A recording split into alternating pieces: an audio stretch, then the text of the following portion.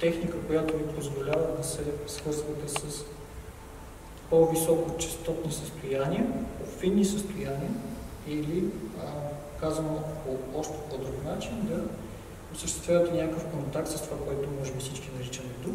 И след това практиката започва да се развива в определени направления. Едното от направленията а, е с а, боен характер, т.е. багла се развива като инструмент за акумулиране на сила и нанасяне на а, щета или самозащита по време на изпълняване на практиката. А, така че във връзка с това направление има много школи, които именно а, обучават в тази посока и а, стъпват на принципите, които а, съответно ни правят ефективни там. Второто направление е възстановително, т.е. това е аспект, в който човек се учи да се възстановява посредством движението, посредством позициите, с които се захваща.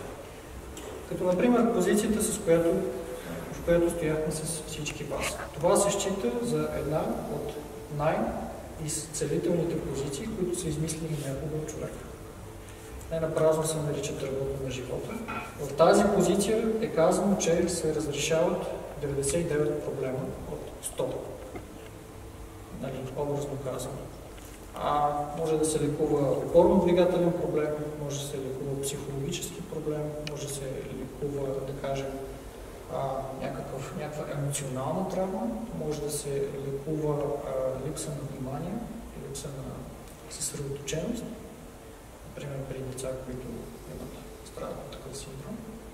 Тоест това е универсална техника, която всеки може да практикува и където водещият в практиката е вашето тяло. Вашето тяло постоянно ви казва а, и ви дава сигнал, ако някъде ви боли, ако сърцето ви бие силно, или ако не ви свърта, или по-лошо избива ви невроза, докато стоите, или да кажем, раменете се изтощават. Това за вас е директна обратна връзка. Т.е. вие печелите, като директно комуникирате с тялото си. Хората, които ги е боляло по рамото и раменете, Обикновено там имаме пресечна точка на меридиани, които са свързани най-общо с перикарда и с пикочни мехури и с жлъчката.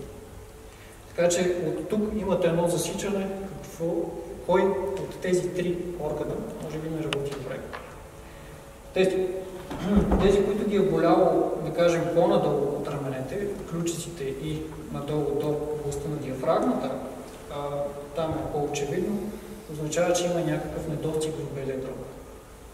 С белия дроб в тази позиция започва да се напълва и напълвайки се отвътре, той започва да притиска или започва да работи с зони, които така или иначе са спящи зони, но обикновено човек не е регистрира. Когато проблема или болката е в бъбриците, означава недостатъчна жизненост. Ако има и задъхване, по същия начин има недостатъчна жизненост. Това е спрямо практиката и теорията на китайската медицина. Бъбриците или нашата воля, според кондицията им, ни позволяват ние съответно да се поддържаме в някаква дисциплина или в някаква позиция устойчива. Така че а, това е, пак казвам, директна обратна връзка за това какво във вас има нужда от допълнителна храна или внимание. Там, където ви боли, тялото ви казва, обърни внимание тук. Това е изключително интелигентен механизъм на тялото ви, за да прикове вашето внимание в точката, в която има нужда от внимание, има нужда от напояване, тъй като вниманието води енергията. И там, където ви се насочва вниманието, тялото ви казва, че там има нужда от повече енергия. Било то за да се напълни мястото или било то за да се отпуши мястото, тъй като от гледна точка на даоистката разбиране и двете се водят блокаж. Тоест, ако, например, ви болят бъбриците, може проблема да е също а, прекомерно застояване на жизненост. Тоест, вашата жизненост не влиза в употреба. Вече зависи от типа болка, нали, това може да се разбере. Но общия случай е по-скоро недостиг на жизненост. По същия начин в Багла, всяка една позиция, всяко едно движение или неспособността ни да извършваме това движение, показва доколко нашето тяло работи и доколко нашето тяло може да артикулира тези движения и да се чувства комфортно в тях. И това за нас е един начин да четем своето тяло. Тоест Багла е инструмент, който може да бъде използван и като език, език с който вие комуникирате с вашето тяло тъй като не са много езиците, които ни учат да комуникираме със своето тяло. Дори бих казал, повечето хора в днешно време не ни учат как да комуникираме със своето тяло. За нас то говори на непознат език. И част от този език е всъщност обратната връзка на болката. Друга част е обратната връзка на удовлетворението. Когато стоим, а, нали, най-често се работи с а, долната част на тялото, т.е. акцент е върху долната част на корема. Когато сме седнали, акцент е върху гърдите, а когато сме легнали, акцентът е върху главата. Така че практиките, с които се занимавате или ще се занимавате, според позицията, в която се намирате, а, слагат акцент върху една от тези три зони. В Багла акцентът е разпределен върху всички зони, тъй като освен седеш и стоеш, имаме и ход, т.е. движение, откъдето получаваме също допълнителна обратна връзка, който ще ви разкажа каква. Следващ аспект, е, който се е обособил с времето в Багла, това е, е последния, който ще спомена, той е чисто демонстрационен. Тоест, може да гледате, например, клипчета или филми, в които се изиграва определена хореография, считайки се, че след което нашата енергетика се подобрява. Просто самото изиграване на хореографията, без да се отчита какво се случва вътре, докато го правим, води до подобряване на нашата структура. Има също такъв, такъв аспект.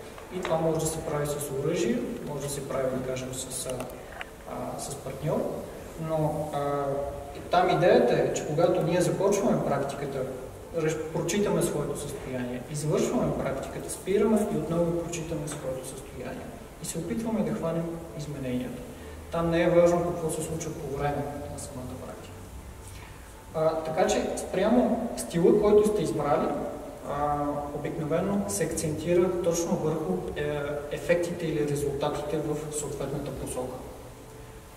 Ако е боен аспект, обикновено се натрупва сила. Баго е единственото а, изкуство, военно, в което когато се движим, ние можем да нанасяме удар, докато се движим. Тоест не е нужно да спрем, за да ударим, тъй като центърът и опората би трябвало постоянно да се движи с нас. Опората на корема и опората в вертикална този. Тоест да вървим в кръг, например, и да нанасяме удари или в някакво движение.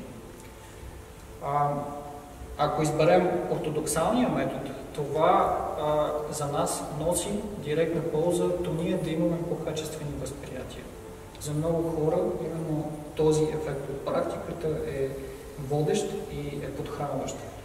Тъй като в самата практика тялото развива финни рецептори. Рецептори, които така или иначе са вътре, но не са подхранвани с финна енергия. Когато се движим най-често в кръг или по осмица, или по монада, тогава се получава определено завихряне, което подхранва нашите рецептори с финна енергия, която финна енергия се отвежда към главата И в съзнанието си човек започва да получава по-качествени преживявания, които не може иначе да получи отвън. Тоест това са състояния присъщи за нас като хора, които обаче стоят заключени и а, спят. Ако пък, а, да кажем, изберете а, лечебния стил, то тогава а, първото, което вие започвате да лекувате, това е вашето внимание. Вашето внимание и способността му то да осъществява контакт с вашето тяло. Счита се, че за да започне такава работа, т.е. човек да започне да възстановява себе си, нужно е като минимум 3 минути и половина вниманието ви да може да стои спокойно в една точка. И всъщност в постулатите е описано, че след третата минута започва реалната вътрешна алхимия и вътрешната работа. Ако човек не успява да удържа вниманието си спокойно така в точка, то съответно трябва да се работи по възстановяване на вниманието. По същия начин е и с тялото. След като имаме нужното внимание, можем да възстановяваме нашето тяло в позициите, в които стоим. Всяка една позиция е лечебна ако се изпълнява правилно. Така че това, което може да получите от практиката, бих а, свел, защото е доста упростено казано, но ми се иска все пак да го изкажа по някакъв разбираем начин. Това, което може да получите като минимум е по-добро здраве, на първо място. На второ място може да получите допълнителна енергия. Тоест енергия, която вие може да използвате в стила на живот, който сте подели. Ако имате нужда да имате от повече енергия, за да работите повече, ще имате тази енергия. За да сте ангажирани с повече процеси, ще имате тази енергия. За да си вредите повече, ще имате тази енергия. Тъй като практиката, обясних, е завихрене. Тоест, завихрят се, условията във вас. В това завихране, в това ускоряване, в това потенциране, това, което е актуално в нас, то се усилва. Ние, например, искаме да развиваме концентрация. Тогава, излизайки от практиката, ние с времето ще имаме сила да стабилизираме своята концентрация. Или по-дълго да сме в състояние на концентрация. Ако, наш, ако нашия стремеж е, например, да имаме повече пари или да сме по-благодетелствени, то това е което практиката ще ви дава. Но тя усилва всичко във вас едновременно. Ако има някаква болест, например, практикувайки, а, в началото тя дори може да се усили, човек може да се почувства по-зле, но това е процес на изчистване. И ако той а, така поддържа чистота, чистота и искреност тази, за която говореше Христо, то лека по лека а, по-финната енергия започва да тушира и да ви освобождава от съответното заболяване или дискомфорт. Следващата полза, която ми се струва, че е редно да кажа, е, че това ни учи на дисциплина. А, като поддисциплина, а, в случая разбирам възможността ние да се отдържаме в определен процес, който сме разпознали като правилен за нас. И то да се отдържаме по един искрен начин в него. Дисциплина на действията, дисциплина на мислите, дисциплина на чувствата. А, вие виждате колко дисциплина се изисква само за да стоите в позицията, в която а, ви поставих. И а, в Багла ние наработваме а, дисциплината като умение. Това е от една страна волята, от друга страна възможността да преживяваме това, което се случва. Тоест, не искаме просто да изкараме мускули и просто да докажем, че можем да постоим 15 минути, а да излезем по-силни на изхода на практиката. Да излезем по-излекувани, по-настроени, по-трезви, по-свежи. има, разбира се, и много други ползи, но а, така, до тези ще се огранича. Следващата част на това, което искам да ви кажа, е свързано с уменията, които трябва да имаме, а, за да практикуваме. Първото умение, което счетох, че е най-важно да, да минем а, заедно, това е а, разбирането какво е опора и построяването на опора. За да имаме идея какво е опората, най-добре мога да покажа също. Ако аз трябва да се опра на нещо извън мен, аз мога да го направя по този начин. За да мога успешно да се опирам на нещо, било то вътре или вън от мен, то това, което е нужно да имаме е структура. Ако нямаме структура, в момента в който се опрем на нещото, на което искаме да се опрем, се получава колапс. Тоест, ние нямаме опора. По същия начин, ако ние се опираме върху някаква идея, или върху, върху някакъв стил на живот, или върху нещо, на което разчитаме. Нашата структура се определя от три системи. Нашата а, физическа и енергийна структура. Това са костите, това са сухожилията, в комбинация с фасциите, това са мускулите.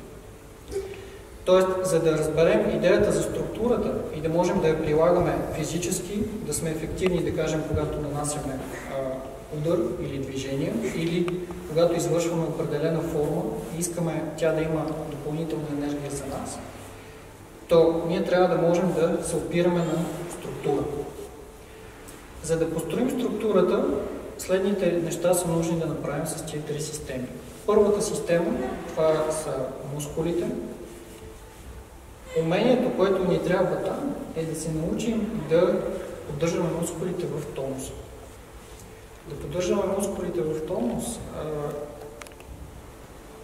това, което тук се опитваме да, да, да учим, означава мускулите от една страна да са отпуснати, т.е. да не са крампирани, но от друга страна те да бъдат натегнати, защото тази натегнатост позволява отделните мускулни групи да са в контакт една с друга.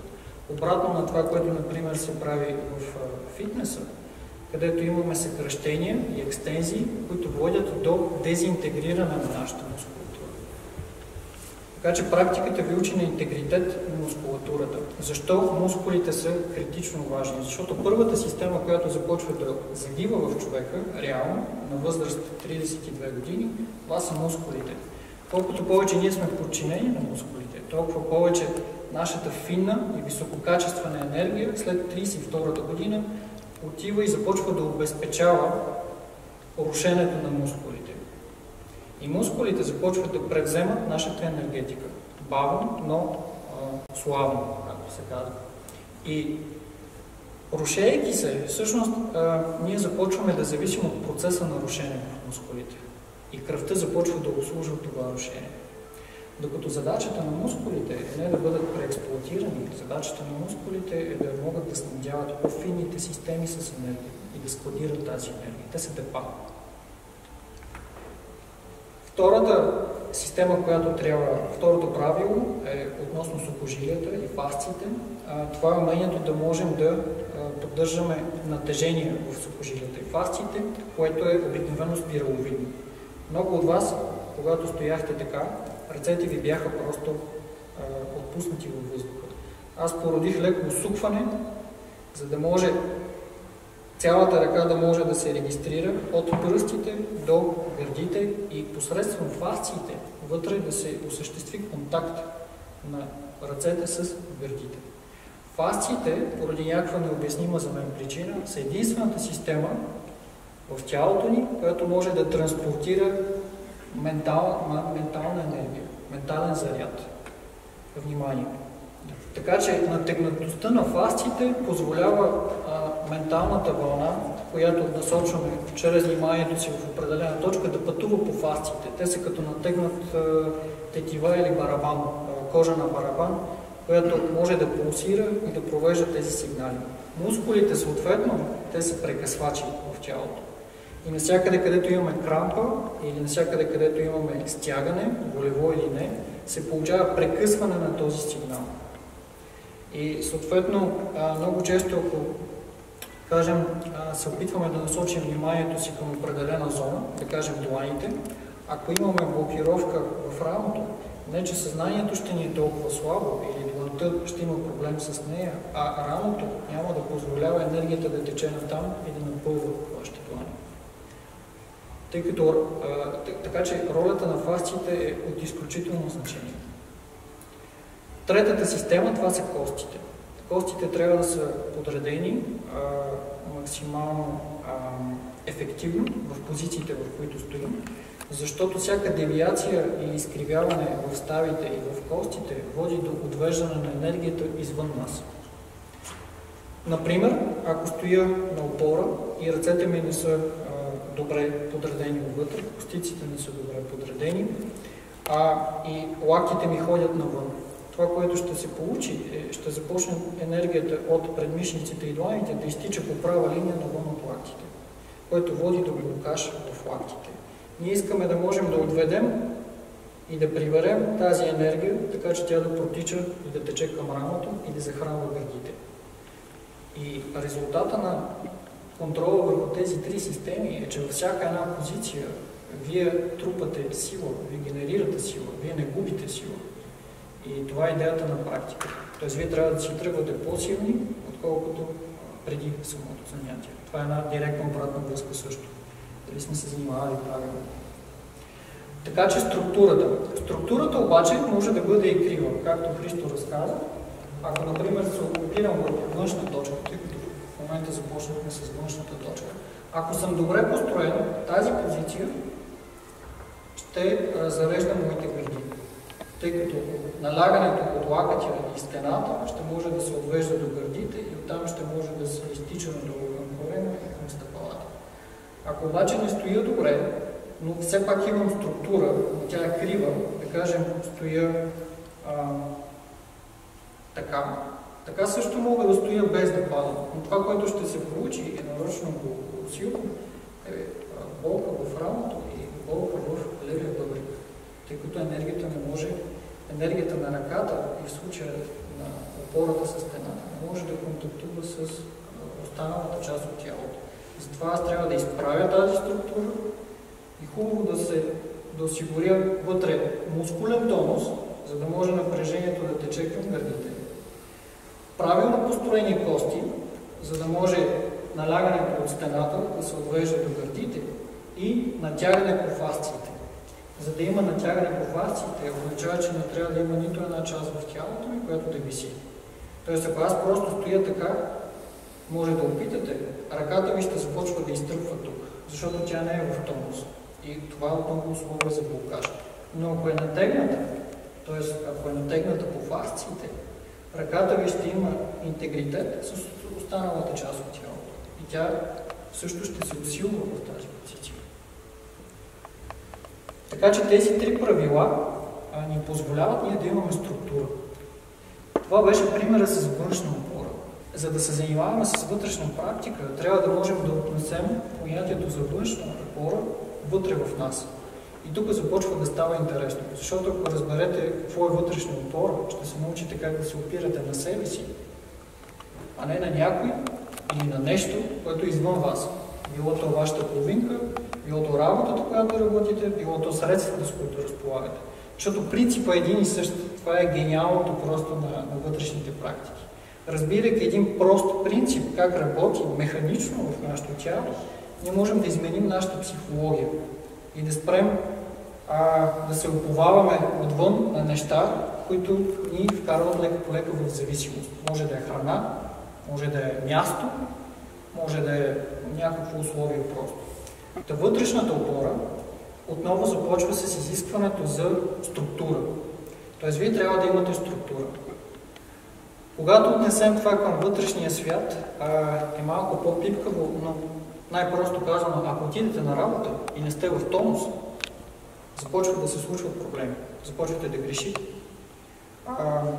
започва да няма достатъчно сила или започвате да влизате в неправилни взаимодействия с хората. Тоест, това е отново един вътрешен тонус, който обаче е вече по-скоро енергиен. Нали, не е толкова ясно физически изразен, въпреки че енергийният ви тонус зависи директно от физическия тонус. Или енергийната структура зависи директно от физическата структура. Всяко едно движение трябва да може да започва и да свършва във вашето ядро. Защото вашето ядро е мястото, в което се събира енергия. Единственото място, което има капацитета да натрупва енергия. И докато това място не заработи, човек е в едно постоянно напълване и изпразване енергийно от нещата, които прави. Няма къде да се съхранява ресурс. Така че, когато, например, се каже опора в корема, или да кажем опора в корема по този начин, или по този начин, или ако е с штанга дори, това означава, че всички кости трябва да могат да отвеждат напрежението, в което се намираме, до долната част на корема. Мускулите ви трябва да са проводими, а не крампирани, защото иначе налягането от стъпалата, например, ще се заключи в бедрата, ще започнат да ви болят краката. Тежестта на штангата, да кажем, ако дигате, ще започне да ви натоварва раменете или кръста. А ако не работят фасциите, лека по лека ще има голям риск да се получи асиметрия. Но ако имаме правилната структура, ние можем да се опрем върху, а, вътре, върху корема си, върху долната част на корема. По същия начин можем да се опираме върху органите. А, например, в тази позиция или тази позиция, аз съм опрям в своя черен дроб. Защо? Защото чисто механично опората на стъпалото, коляното и бедрото линейно завършва в черния дроб. Опората на моето рамо, ухо, лакът и длан също завършват в черния дроб. Да се учим тактилно да възприемаме тази вътрешна опора. Опората, за да, за да сме съвсем точни, в тялото, тя зависи от 12, 12 съда, 12 енергийни съда.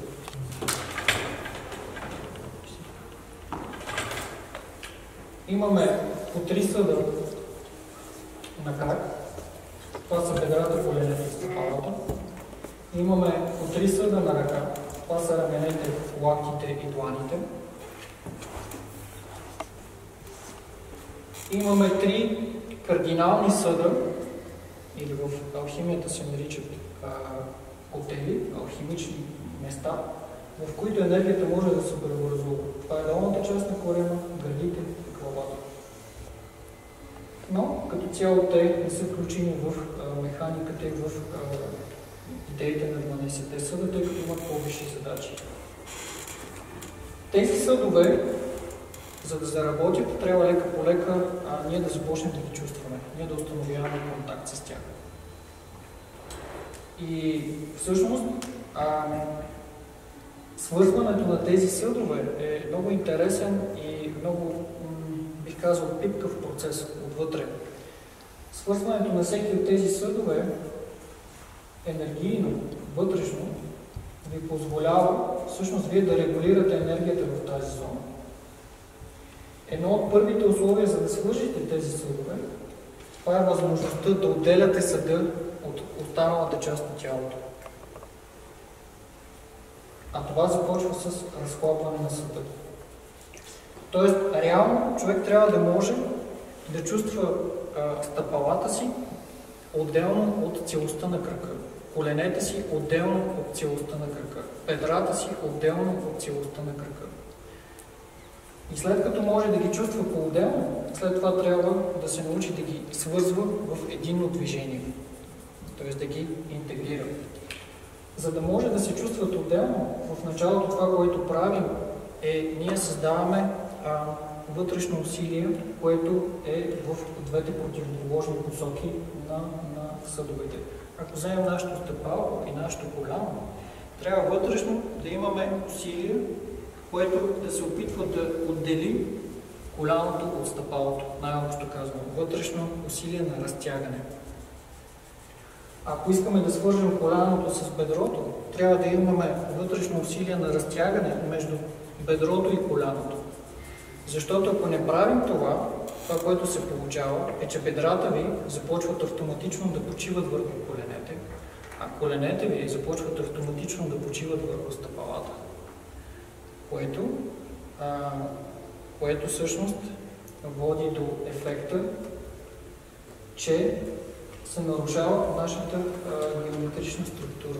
Тъй като ако просто остана да вися така, с заключени колене, например, лека по лека ще се изморя. тъй като енергията от стъпалата няма да ходи, може да ходи в бедрото, защото коляното ви е заключено. Има позиция, в която коленете ви са отключени и са проводими. И налягането от стъпалата може да минава през коляното. По същия начин може да заключите тазобедрената става. Много хора, например, когато практикуваме, държат докато назад. Това директно измества центъра ви назад и започва да ви боли кръста. Може би много от вас, дори в тази позиция, може да е започнало да ви боли кръста. Тъй като а, центъра започва да бяга назад и краката ви, вместо да зареждат корема ви, започват да зареждат кръста ви. Нали, аз го правя пресилено. И кръста ви оттам насетне няма на какво да предаде това напрежение. А ако сме в тази позиция, корема ви може да предаде напрежението нагоре в гърдите. Тоест, ако, ако тази е хубаво прибран напред. Тогава краката стават проводници на това напрежение към корема и оттам нагоре към гърдите. Така че построяването отвътре става чрез противодействие между съдовете. Тоест вътрешно трябва да се научим да отделяме двата съда. Двата съда да ги отделяме в, в противоположни посоки. Това отделяне ви позволява след време всеки един съд за вас да бъде опорна точка. Но за да може един съд да е опорна точка, ние трябва да можем да го чувстваме независимо от от останалата част на тялото. Идеята на опорната точка е тя да ви дава енергийна ефективност. Всяка точка във вас може да бъде опорна точка. И всяка опорна точка може да бъде точка, в която енергията се преобразува. Ако, ако той ме бута и аз просто се съпротивлявам, това след време, да, ме буте, а след време ще ни измори и двамата. Но ако правим това нещо, бутай пак, и аз ротирам уста на рамото, бутай, и връщам, това не е просто, че не ме хаби, натискай,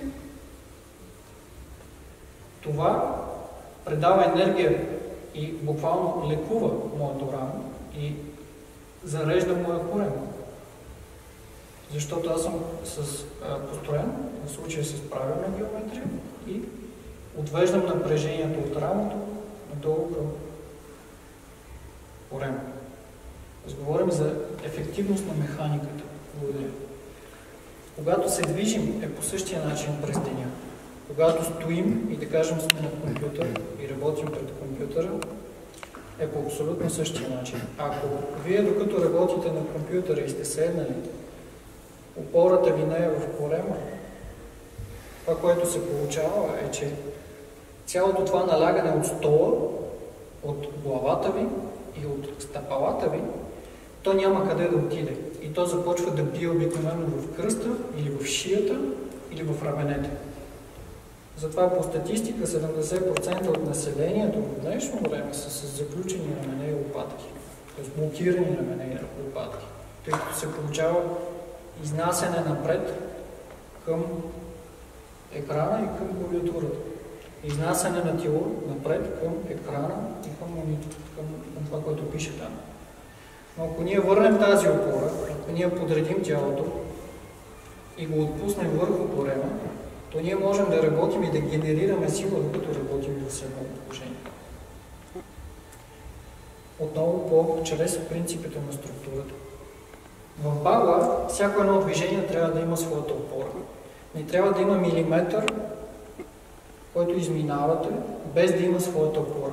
Например, ние много често, въпреки че скоро не сме го правили, работим едно движение с ръцете. Това са кръгове, концентрични кръгове с ръцете, които изглеждат така, да кажем, изглеждат така. Идеята е човек да може да почувства движението на ръката и на рамената става в корема си, като по този начин свързва цялата ръка с корема. Ако правим това движение, и особено ако го правите бързо, и особено ако се движите и го правите бързо, то изглежда много красиво. Но всъщност идеята на това движение е да ни научи ние да построяваме тялото. Ако го, трябва да го правя геометрично правилно, движението изглежда последния начин. Имам първо опора на длънта, въртя около опората на длънта Фиксирам. Следващата опорна точка е уста на предмишницата. Оттам усуквам около уста на предмишницата и следващата част на движението се извършва от корема. Корема тегли надолу ръката. Ръката не прави нищо. Тоест още веднъж. Опора, първа, опора втора, опора трета. Тоест това движение, разделено по този начин на опори, всъщност ни позволява ние да акумулираме сила. Когато опората е ясна, ние можем да заработваме сила и движението да ни храни. Ако, например, искам да изведа ръката си в страни, отново имам опора в корема, корема се завърта. Тук рамото е фиксирано. Корема завърта ръката. Ръката не се движи самостоятелно. Ръката е в контакт с корема. Ръката чувства корема. Ротирам, присядам и избутвам дланта напред. Тоест вече имаме ротиране отново около центъра, само че вместо надясно имаме ротиране в тази плоскост. Ето отново. Ротирам надясно около центъра на корема, ротирам надолу около центъра на корема. И цялото това нещо остава в контакт. За съжаление, това, което се получава в нашето ежедневие и в нашите тренировки е, че дезинтеграцията в тялото все повече нараства. А дезинтеграцията в тялото води до дезинтеграция на нашата глава. Тъй като тялото ни е директно свързано с, наш, с нашия мозък. Например, когато се каже а, усилете вниманието си в дадена точка. Енергийно погледнато, това означава, че ресурсът на черния дрог, ресурсът на бълбеците, ресурсът на дълака, ресурсът на белите дробове, трябва да може да подаде енергия към главата и вашето внимание да се усили в зоната, с която работим. Това е което се получава на практика. Тъй като работата на нашата глава зависи от тези пет органа. Бъбреците ви дават воля, т.е. да продължавате устойчиво да работите. Далакът ви дава умението да се да полагате ментално усилие да удържате ментално усилие в точка. Сърцето е тази съставляваща на вашето внимание, която ви позволява да се удовлетворявате от процеса, с който се, в който се намирате. Белият дроб е съда, който ви позволява да абсорбирате това, с което работите. Черният дроб ви дава прецизност. Черният дроб е общо взето се нарича капитана в нашето тяло. Той, той е отговорник за това ние да може да следваме определен план, да следваме определена дисциплина. Затова, когато имаме проблем с черния дрог, ние не можем да дадем дума, ние не можем да последваме определен план, защото започваме да правим нещо друго. С черния дрог е тази енергетика в нас, която ни удържа в плана, който сме си поставили. Тоест в Багуа и във вътрешните практики ние се учим как да изграждаме отношение към това, което правим. Защото възможността да имаме отношение към това, което правим, е основният източник на сила в нашето действие. Липсата на отношение към работното действие ни прави неефективно. Липсата на отношение към храненето прави неефективна храносмивателната ни система, защото тя няма интерес да храносмива, тъй вниманието е отнесено на някъде. И отношението изграждаме в в самата практика, в самите движения. Вече всеки изгражда отношението, от което има нужда. Ако човек е болнав, той ще иска да се лекува, като прави практика. Ако човек е слаб, той ще иска да генерира сила за нещо. Ако човек е объркан или няма яснота в живота си, то той ще иска да получи такава яснота. И практиката ще бъде един инструмент, той да я получи. Гарантирано. Просто трябва да има отношение.